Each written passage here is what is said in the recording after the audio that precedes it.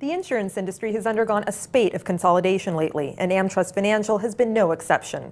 The $4.6 billion casualty and property insurance giant recently closed several acquisitions, helping to boost its stock price. Here to talk about his company's recent earnings and acquisition strategy is AmTrust CFO Ron Pipoly. Welcome, Ron. Nice to be here. So, Ron, congratulations again on yet another quarter of outsized earnings. You beat the street handily in the fourth quarter. Tell us a little bit about what was behind uh, those outsized earnings. We understand there's been a, a, trend recently towards consolidation in your industry, and then that's played a role in your earnings as well. I think as it relates specifically to our, our, our series of outperformance related to the, the consensus of the street is it's our ability to continue to execute on a differentiated strategy within the property and casualty industry where we focus on, on niche products within much larger segments of business business or lines of business.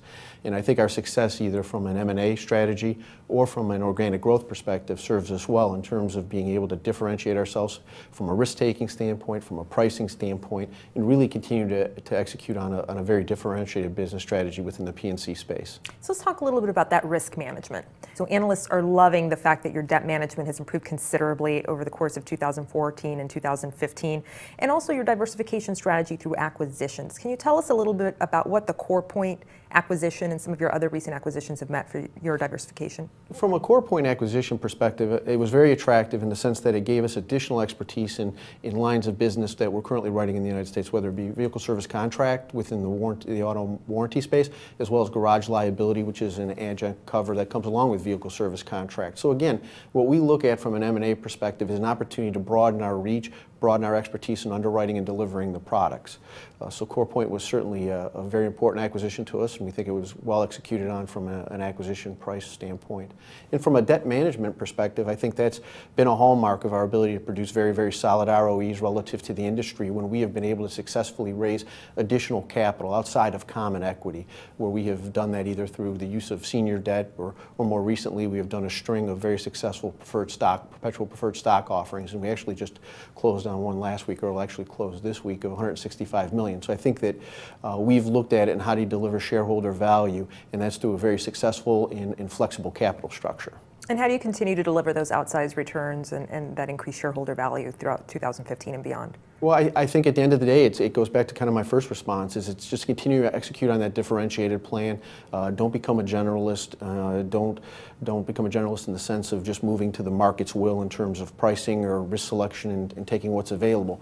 Carve out niches within, within products, make sure that you have successful distribution, you're able to differentiate your product from the industry overall, and continue to execute on that strategy and, and continue to focus on organic growth when pricing and risk selection allows, and then focus on M&A opportunities opportunities when you can identify these kind of smaller, below the radar transactions that are going to be immediately accretive.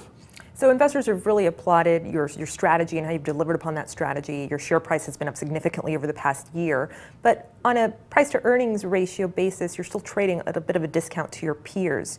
Is there anything that investors are missing or what are they not understanding about your stock? Why is it trading? I, I think when you look at the, the, price earnings aspect, I think what people really recognize, need to recognize in the investing community is, is that we are a differentiated model in the sense that uh, you know 11 to 12 percent of our revenue on an annual basis comes from fee, fee generation, which I think the industry industry standards kind of 2 to 3%. So when you look at the power that that fee revenue stream brings to the bottom line in terms of accretion to ROE, just the, the margin that we operate on it from an EBITDA perspective, it's a, it's a strong and growing source of revenue. Last year was over 400 million of, of fee revenue. So again, that is clearly a differentiator from us uh, relative to the industry. And what's next for your consolidation strategy? Are there any particular industry sectors or niches that you're looking at for the future?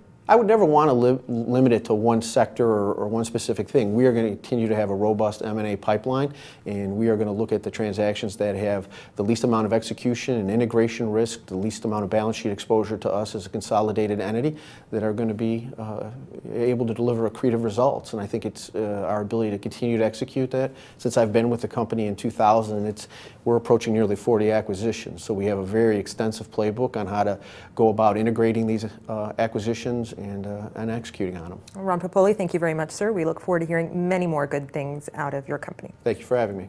And thank you for watching The Street.